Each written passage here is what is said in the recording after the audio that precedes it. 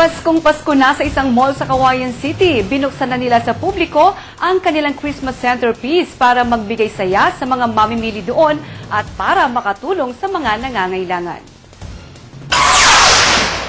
Sa entrance pa lang, nakakaaliw ng pagmasdan ang mga kumukutikutitap na Christmas lights. Pagpasok sa loob, ramdam na ang diwan ng Pasko dahil sa sari-saring palamuti.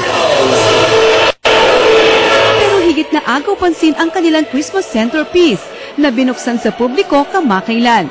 Tinawag itong Santa's 100 Elves dahil sa loob nito, makikita ang isandaang elves mula sa maliliit hanggang sa malalaki. Meron din si Santa, kaya naman ang mga bata di magkamayaw sa tuwa. Kahit matatanda, di napigilang mag-selfie. Special ako kasi nakita ko si Santa. First time ko siya nakita. Kaya magiging mabait na ako para mag-givean ako ng gift. Bit-bit ni Nanay Josie ang mga apo na enjoy na enjoy sa paligid. Masaya. Kasi mga apo ko, masasaya sila. Ayon sa pamunuan ng mall, di lang basta ito atraksyon, kundi layunin din itong makatulong sa nangangailangan.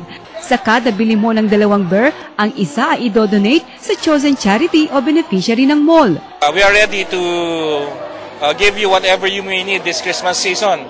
And also, this is also one, uh, maybe it, it will uh, give you an idea also to donate uh, the, some, uh, to donate to our, through our Bears of Joy. Uh, at uh, makatulong tayo sa mga kababayan natin na hindi kasing saya yung Pasko.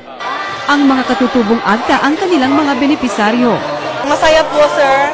Although this is the second time na mag-donate po sila. Saan po mapupunta yung Mm, para sa feeding nila, sir. Ng mga Ng mga agta.